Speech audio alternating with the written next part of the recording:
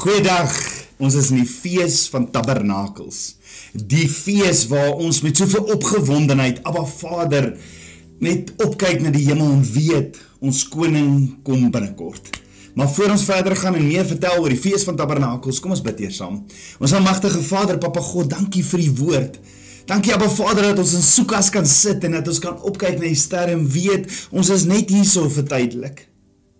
En dat ons kan staan op die woord en die beloftes, Abba. Maak nie saak hoe gaan dit in hierdie wêreld nie, Abba Vader.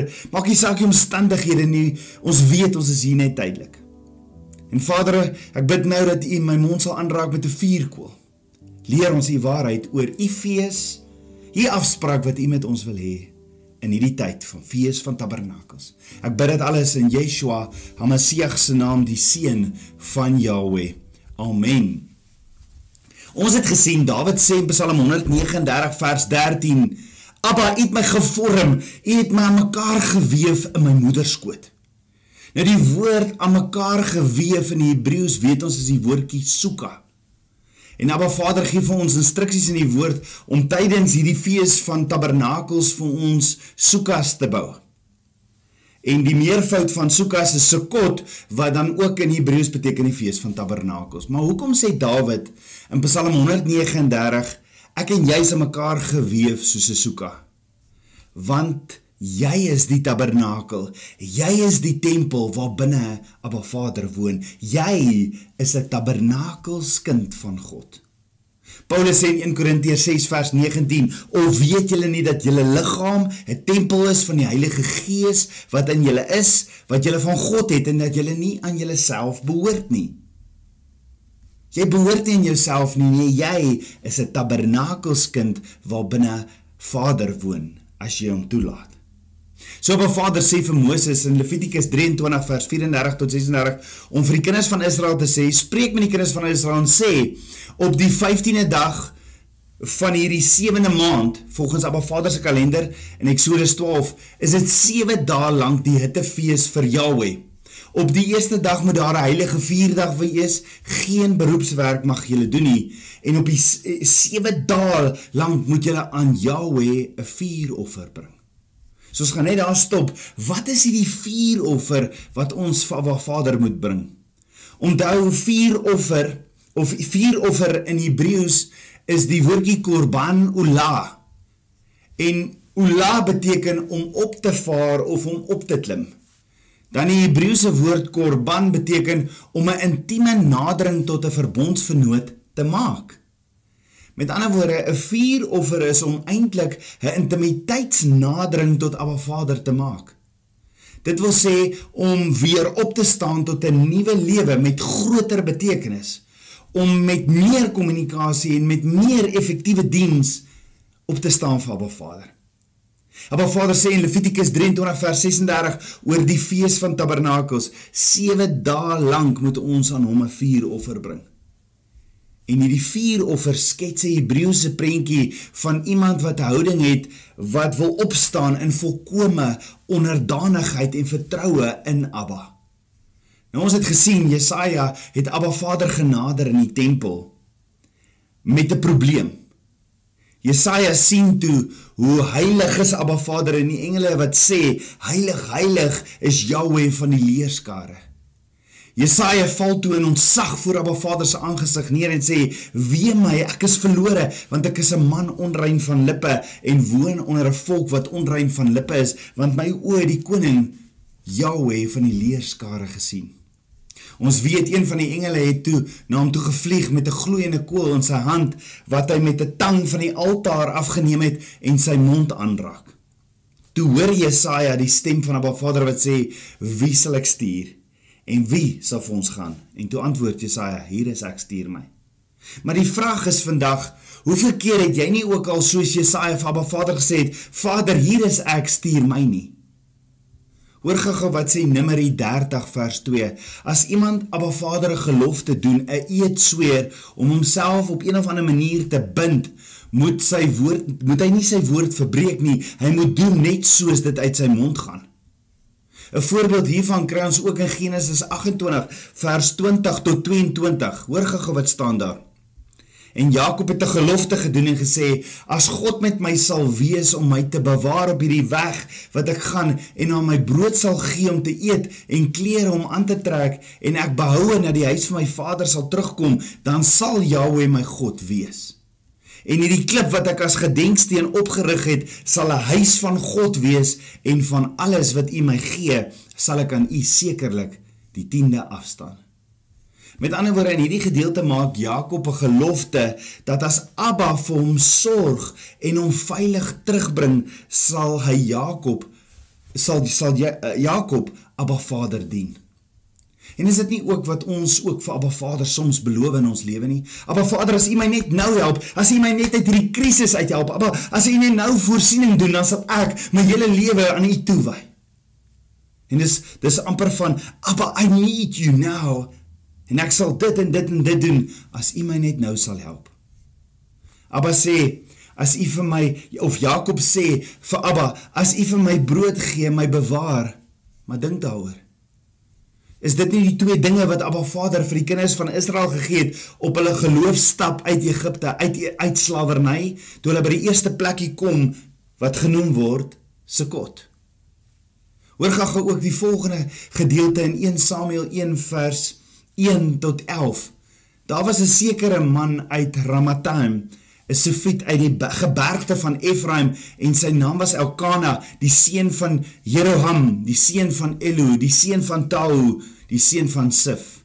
En hy het twee vroue gehad, die naam van die een was Hanna en die naam van die ander was Penina. En Penina het kinders gehad, maar Hanna het geen kinders gehad nie. En die man het van jaar tot jaar opgegaan uit sy stad om te aanbid en aan Jahweh van die leerskare te offer in Shiloh, dis waar die laaste tabernakel gestaan het. Waar die twee seuns van Eli, Hofni en Pinjas priesters van Jahweh was. En op 'n dag het Elkana geoffer en aan sy vrou Pina en al haar seuns en haar dogters dele van die offervleis gegee, maar aan Hanna het hy 'n dubbele deel gegee, want hy het Hanna liefgehad maar Jahweh het haar moederskoot toegesluit. En haar mededingster het haar ook bitterlik geterg om haar te vertroon omdat Jahweh haar moederskoot toegesluit het. So het hy gedoen van jaar tot jaar telkens as sy opgaan in die huis van Jahweh wat 3 maal 'n jaar was met Abba Vader se feesseisoene. Watter feesseisoene? Pesach, Shavuot en dan die feesseisoen van Tabernakels. So het sy haar geterg dat sy geween het en nie wou eet nie. En haar man Elkana sê vir Hanna: "Waarom ween jy en waarom eet jy nie? En waarom is jou hart so bedroef? Is ek nie vir jou beter as 10 seuns nie?" Met ander woorde Elkana verstaan eintlik Hanna glad nie. En toe staan Hanna op nadat hulle geëet het en nadat hulle gedrink het in Shiloh terwyl die priester Eli op die stoel sit by die deurpos van die tempel van Jahweh. Met ander woorde, Hanna nader toe vir Abba, haar skepper. Nada Hanna gaan na hierdie soeka toe van Abba, haar skepper waar waar waar hy haar beter ken as wat haar man of as wat sy haarself ken. Hanna het toe bitter bedroef tot die tot Jahweh gebid en bitterlik geween. En hoor gehou. En sy het 'n gelofte gedoen en gesê: Jahweh van die leerskare as u waarlik die ellende van die diensmag aansien en aan my dink en die diensmag nie vergeet nie maar u diensmag 'n manlike kind skenk dan sal ek hom aan die aan Jahweh gee al die dae van sy lewe en geen skeermes sal op sy hoof kom nie Hanna gaan na Abba toe by Abba se soeka, Abba Vader se tabernakel en Hanna het hierdie hartsbegeerte. Hanna gaan in gebed en in smeking nader sy Abba.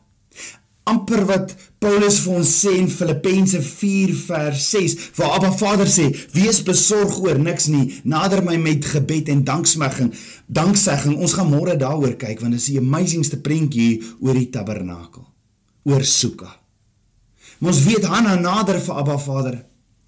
En Hanna het haar seun Samuel gekry.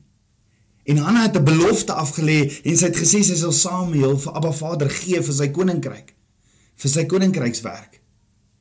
En sy het 'n Nazareer gelofte gemaak oor Samuel. Maar die punt is wanneer ons ons woord aan Abba Vader gee en sê Abba Vader, hier is ek. Ek sal U dien met my hele hart en met my hele siel en met my hele verstand. Dan moet ek my myself oorgee aan hom. Ek moet hom vertrou. As ons ons woord gee vir Abba Vader, moet ons ons kant van die ooreenkoms nakom, is dit nie? Of gebruik ons Abba Vader soos 'n ATM net wanneer ek geld nodig het? Jy sien elke gelofte is 'n offer aan Abba Vader. En as ons regtig besef hoeveel Abba Vader vir ons doen en hoe hy vir ons omgee en vir ons lief is, sal ons ons hele lewe in 'n konstante staat van dankbaarheid verander. So Hebreërs 13 vers 15 tot 16 sê, laat ons dan gedurig deur hom aan God 'n lofoffer bring. Dit is die vrug van die lippe wat sy naam bely. Vergeet die weldadigheid, die mededeelsaamheid nie, want God het 'n welbehae in sulke offers. Daar is niks wat jou siel met meer vreugde sal vervul as 'n lewe van konstante danksegging en en en en dankbaarheid en so te leef nie. Jy weet ons het ons het so gewoond geraak om om oor alles te kla, amper soos die kinders van Israel, die hele tyd te kla in plaas van om dankbaar te wees, te vergenoeg te wees en met danksegging Abba Vader te aanbid. Jy sien as jy Abba Vader bedank vir alles wat hy vir jou doen, as jy ten volle bewus is van alles waarmee hy jou seën en jy op hom vertrou vir alles wat binnekort sal bestaan, in vertroue op Abba Vader asof dit al reeds bestaan, is jou blydskap, jou vreugde volkome. Hoe kry ek daardie blydskap verlustig jou in Jahweh? Dan sal hy jou gee alles wat jou hart begeer. Psalm 37 vers 4. En daarom sê Abba, moet ons oor die fees van Tabernakels 7 dae lank voor sy aangesig vrolik wees. Maar baie belangrik in Jakobus 5 vers 12 staan, maar bo alles, my broeders, moenie sweer nie, nie by die hemel nie, ook nie by die aarde nie en ook geen ander eed nie, maar laat julle ja ja wees en julle nee nee, sodat julle nie onder 'n oordeel val nie. Met ander woorde, as jy soos Jakob, Jesaja en Hanna Abba Vader nader en jy sê hier is ek Abba use me. Ek wil hierdie ek wil u soeka wees kom leef in my moet jou belofte, jou woord, jou eed vas wees. Moenie met empty promisse na Abba Vader toe kom nie. Abba is Abba haat lou warm. Yeshua sê in Matteus 5 vers 33 tot 37 sê ons sê ons Messias sê hy verder het julle gehoor dat aan die mense van die ou tyd gesê is jy mag nie vals sweer nie maar jy moet jou ede aan Jahweh hou. Maar ek sê vir julle sweer hoegenaamd nie nie by die hemel nie omdat dit die troon van God is. Ook nie by die aarde nie omdat dit die voetbank van sy voete is. Ook nie by Jerusalem nie Jerusalem nie omdat dit die stad is van die groot koning. Ook by jou hoof mag jy nie sweer nie omdat jy nie een haar wit of swart kan maak nie. Maar laat julle woord wees ja, ja, nee, nee. Wat meer as dit is uit die bose. Yeshua sê nie dat ons nie vir mekaar en vir Abba Vader wettige beloftes of ons woord kan gee nie. Nee, hy wys ons daarop dat die mens nie ligsinnige beloftes wat hulle nie kan nakom moet maak nie. En vandag sweer so baie mense en sê ek sweer voor U Here en of hulle dit nou regtig bedoel of nie dit is verbode en kwaadwillig om te eet in 'n gelofte aan 'n Vader van die grootste en ernstigste aard is. So ons het gesien se kot of die fees van tabernakels is 'n afspraak wat Abba Vader met ons het. Waar ons hom kan nader, waar Abba Vader ons nooi na intimiteitsnadering tot hom. Dit wil sê om weer op te staan tot 'n nuwe lewe met groter betekenis, met meer kommunikasie, goeie kommunikasie en met meer effektiewe diens vir Abba Vader. So hoe nader ek en jy Abba Vader? Nou die goue altaar het voor die voorhangsel of die wyl gestaan in die tabernakel. Dit ken ons baie goed. Die goue altaar het voor die voorhangsel of die wyl gestaan van die allerheiligste en dis hier waar die priesters elke dag wierook gebrand het. Nou die wierook is volgens Eksodus 30 vers 7 tot 8 elke oggend en elke aand deur die priesters gebrand, 'n instruksie van Abba Vader. Onthou die bronsaltaar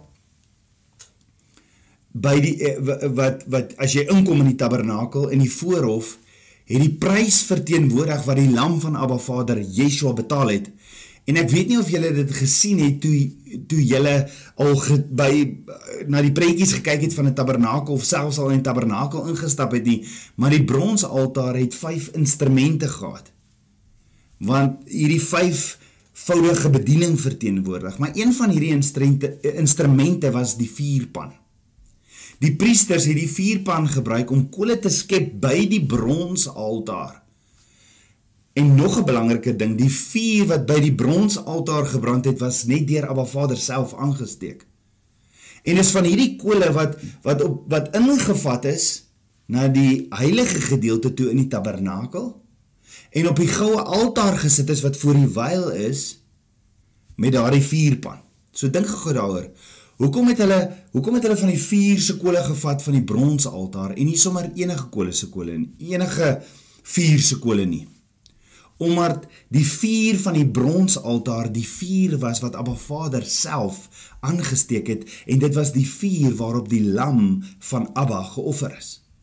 Dit is ook die vuur wat gebruik is om die olielampies aan te steek op die menorah.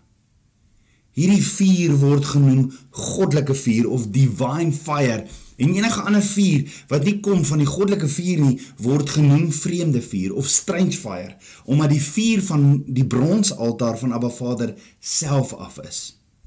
Nou Abba Vader se vuur wat uit die hemel uit was was gebruik.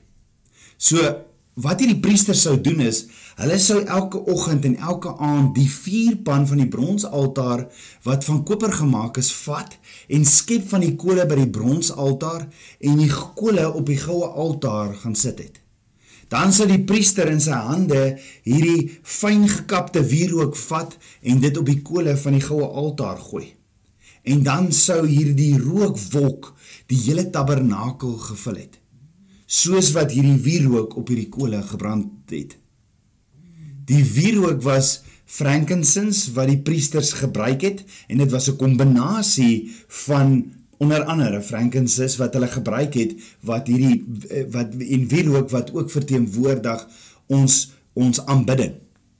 Nou in Levitikus 16 word gepraat van hierdie rookwolk wat binne in die heilige plek van die tabernakel was. En dan sê die woord het die goue altaar op sy vier hoeke ook horings gehad. Die Hebreëse woord vir horings is die woordjie geren wat beteken horing of krag. Met ander woorde die horings verteenwoordig autoriteit en krag.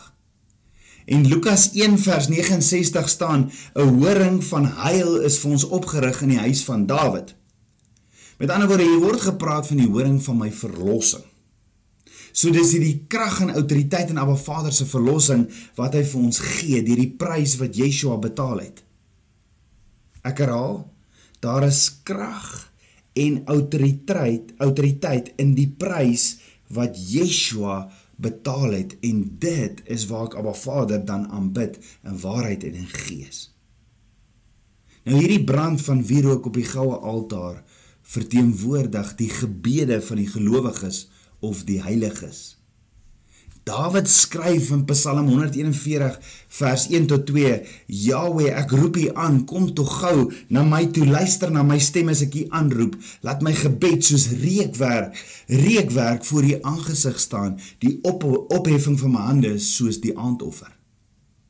Inteendeel Dawid sê baie in sy psalms: Vader, dis my gebede wat opgaan na U soos reukwerk.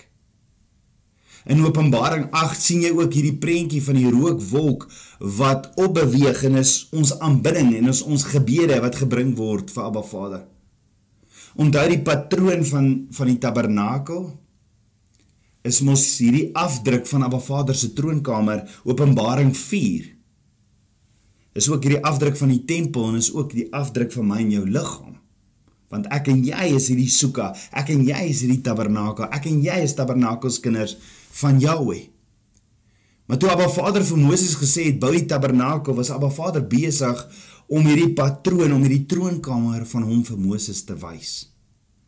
En net soos Abba Vader besig om ons te leer om hierdie tabernakels kinders van hom te wees waar binne hy in ons wandel waar ek met hom kan praat en hy met my in intimiteit. En ons weet die wierook wat gebrand het op die goue altaar verteenwoordig die gebede van die gelowiges. En hierdie Hebreëse woord vir wierook is die woordjie gatar. Hoor gou-gou, die wortelwoord van kartar het twee betekenisse, naamlik nommer 1 to be close of to be joined with. Met ander woorde, wat doen my gebede as ek op my knieë voor Abba Vader val? As ek op my knieë val in hierdie tyd, in hierdie soeka en ek kyk op en ek val op my knieë voor Abba Vader in hierdie ontsag soos Jesaja en soos Hanna wat Abba Vader genader het. Dit bring my by hierdie nabyheid saam met Abba. En dan sê Dawid in Psalm 100 100 vers 4 in die New King James Version, enter into his gates with thanksgiving, into his courts with praise, be thankful unto him and bless his name. Dis mos wat ons doen op hierdie fees van Tabernakels. En Dawid leer ons dis hoe ons ingaan in hierdie teenwoordigheid van Abba Vader in intimiteit. Hierdie join together is mos hierdie nabyheid wat beteken daar's letterlik daar's nie gapings nie, daar's nie plek om uit te gaan nie. Dis hierdie nabye bymekaar voeging. Dan hoor gou wat beteken die tweede betekenis van wierook se rootwoord gatar to generate smoke to drive out unwanted occupants. Nou nie natuurlike moes ons moet ons onthou daar was baie bloed buite die bronsaltaar en dan een keer 'n jaar het hulle bloed gesmeer aan die meubels aan die binnekant van die tabernakel, die die instrumente op Yom Kippur. En dit is 5 dae voor die fees van Tabernakels. En die hoofpriester het dan ook bloed gesprinkel in die allerheiligste wat natuurlik insekte ensovoorts reg deur die tabernakel gelok het. So in die natuurlike sou daar verseker 'n reuk gewees het van al die dooie diere en bloed en dit lok insekte. So hierdie prentjie van hierdie gatar in die plek waar Abba Vader saam met sy kinders wandel is to drive out unwanted occupants. So opsommend, wierook is die gebed van die gelowiges en dan het dit twee betekenisse. Die een is hierdie naby om naby aan Abba Vader te kom om hom te nader wat ook beteken op hierdie fees en dan die ander een is om in, in ongewenste insekte of uh, insittendes uit te dryf. Nou vandag weet ons is ek en jy Abba Vader se tabernakels waar waar binne hy woon.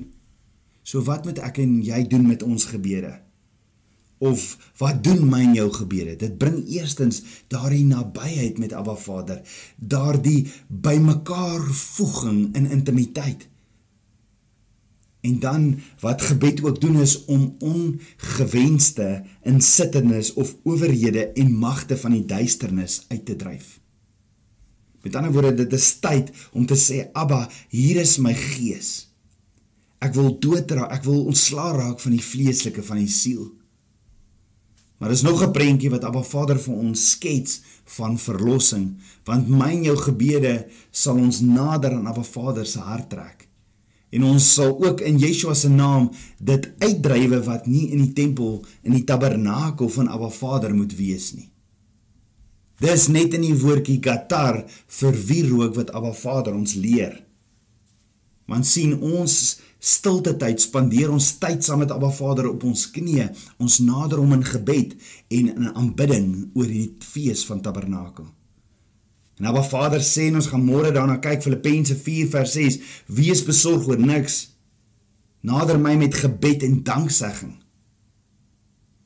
Maar dan in hierdie plekkie van intimiteit saam met hom wys Abba Vader my dinge in my lewe uit wat nie daar moet wees nie en ek begin dinge uitdryf want ek het die autoriteit en gesag in Yeshua se naam. Of kan ek vra wat se autoriteit en gesag het jy?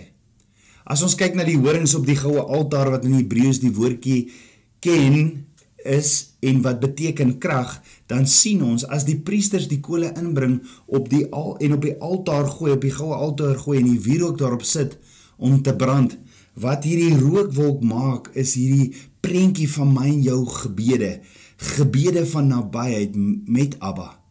En dan ook gebede wat ongewenste en onwelkome dinge uitdrywe met hierdie krag en autoriteit in Abba Vader. En dis wat hierdie horingsken beteken. Jakobus 5 vers 6 sê: "Bely mekaar julle misdade en bid vir mekaar sodat julle gesond kan word. Die vuurige gebed van 'n regverdige het groot krag." So Abba Vader skilder vir ons die prentjie van die gebed van 'n gelowige is vir intimiteit en bevryding om ons vry sodat ons kan vry wees en dat ons hierdie vreugde van hom kan ontvang oor hierdie fees van tabernakels. En wanneer dit gedoen is, was dit tussen hierdie vier horings, hierdie kehen wat beteken daar sal krag en autoriteit wees. Presies wat Jakobus sê, die gebed van 'n gelowige het groot krag. Nou Abba Vader het vir Moses gesê om in die oggend en in die aand sal hulle kole op die goue altaar sit en die wierook brand. Die wierook is volgens Eksodus 30 vers 7 tot 8 elke oggend en elke aand deur die priesters gebrand, 'n instruksie van Abba. Dit was in lyn met die offers wat hulle gemaak het in die oggend en in die aand en so is die wierook ook gebrand in die oggend en in die aand. En is dit hoe my en jou intimiteitsverhouding, my en jou gebedslewe met Abba Vader lyk? Like? of gaan ek net na Abba Vader toe vir sommer net met hierdie hierdie vinnige gebedjies vir kitskos. So ons weet die goue altaar het voor die wyl gestaan. Maar hoor gou-gou hierson, daarmee gaan ek afsluit om oor te ponder. Hoor gou-gou wat staan in Hebreërs, Hebreërs 9 vers 2. Want die tabernakel is so ingerig Die eerste waarin die kandelaar was en die tafel van die toonbrode wat die heilige genoem word en agter die tweede voorhangsel die wyl agter die tweede voorhangsel die tabernakel wat genoem word die allerheiligste waarin 'n goue wierookbak of pan was en die ark van die verbond met ander woorde ons lees in Hebreërs van die menorah van ag in Hebreërs Ons lees in Hebreërs van hierdie menorah in die heilige gedeelte, die menorah, die tafel van toonbrode en dan agter die voorhangsel was die goue altaar. Maar maar maar dink daaroor, was die goue altaar nie altyd voor die tyd nie. Volgens Abba Vader se instruksies aan Moses moet die goue altaar en die goue altaarpan voor die voorhangsel staan en nie agter by die verbondsark nie. So om oor te ponder, hoekom staan in Hebreëus dat die goue altaarpan 'n uh, goue altaarpan agter by die verbondsark staan? Is dit 'n fout?